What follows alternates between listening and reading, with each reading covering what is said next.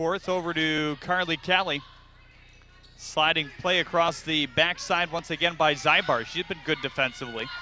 Swinging is Karlie Kelly, you betcha! 18-15. Trying to break away here in set number three. That's a big point there and a very powerful swing from Karlie Kelly, knowing her team needs that boost.